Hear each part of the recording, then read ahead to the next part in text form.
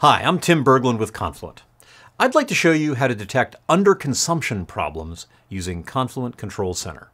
Now, I'm using the Control Center demo on GitHub. We've got that in Confluent Inc. slash CP demo. Now, there's a whole separate video showing you how to get this set up. You should watch that video and follow along with all the steps. Get everything going.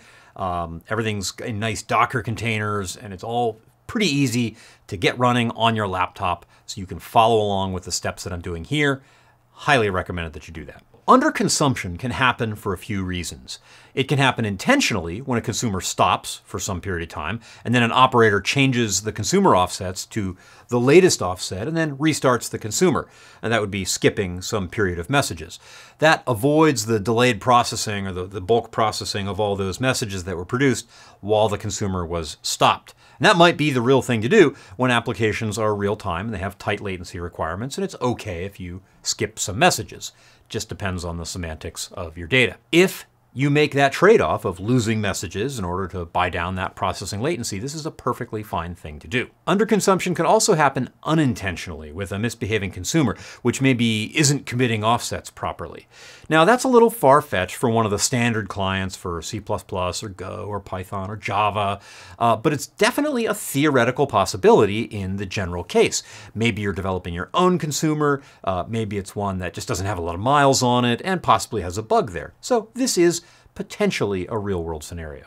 Now we're using Kafka Connect, which is using a very stable Java client, and so it's not going to underconsume. We're going to have to simulate this problem. We're going to do that using Kafka's consumer offset reset tool to set the offset of a consumer group to the latest offset after having stopped the consumer for a little bit, thereby skipping all the messages uh, after the last committed offset before we shut down. Those poor messages will just never be read. Now, let's look in uh, Control Center here in the Streams Monitoring view. We can drill down into Streams Monitoring by consumer group or by topic. Now, let's scroll down and look at the consumer group called App. Uh, that's the consumer group that we'll be playing around with in this exercise. We can drill down even further and look at each consumer within the consumer group if we would like.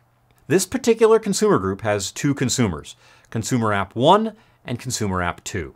They're consuming from a topic called Wikipedia Parsed, which has two partitions, famously named 0 and 1. Now, there's nothing wrong with our demo app at all. As I said, it's just not under consuming, so we're going to need to break it. Uh, let's go stop the consumer first, and just for fun, uh, I'm going to stop it ungracefully.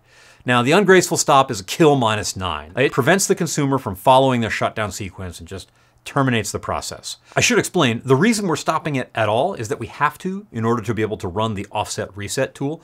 Uh, that tool only works on stopped consumers. So while the consumer is stopped, let's go back to Control Center to see what it tells us about the situation. Notice this red bar. I guess we would hope to see something red with our application now apparently broken. Uh, it tells us that the expected consumption during this period is 339 messages because that's how many were produced in that one minute time window. Now, there's remember, there's nothing wrong with the producer here. It's the consumer that stopped. So the producer is still plugging away, producing messages into the topic. But it says only 313 messages were consumed by this consumer group. The remaining 26 messages in this case were produced, but we stopped the consumer group before it had a chance to process them. Hence the red bar. If we scroll down to see the individual consumers within the consumer group, we see that they reflect the same thing. That's good news. The world seems to be fitting together here, even in this failure scenario. Now, as an operator who doesn't want to look at the Control Center tab all of the time, like if you wanted to be notified if this happened again in the future, you could set up an alert to trigger if consumption didn't match expected consumption. So after a few minutes, Control Center will put up a herringbone pattern indicating that the data from this period is in question. We shut down in gracefully, so Control Center stopped receiving metrics very suddenly. It had to let a little bit of time elapse to be able to conclude for sure that the broker had gone down and come back up. And hey, the consumer has been stopped for a little while now. The producers were still writing to the topic, Wikipedia parsed, so it had probably accumulated a lot of data. We want to restart the consumer group but we don't want to incur the time to reprocess all the data we missed. And based on the semantics of our data and our application, we say it's okay to just skip it.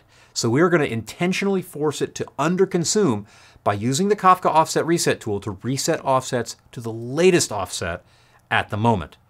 And we're doing this, again, as a contrived failure simulation. But in some domains, this is entirely appropriate behavior to say, hey, you were down for a little bit. It's okay. Don't worry. Just pick up where things are right now and leave the intervening data on the floor. Now, we restart the consumer group, and both consumers, Consumer App 1 and Consumer App 2, will come back up. On startup, these two will poll the brokers for messages. This is how Kafka works. Brokers will then look up consumer offsets for this consumer group, which have now been reset to the latest offset value based on whatever has been produced. That is, we've fast forwarded to the end of the topic. And then the brokers will begin returning records at that offset.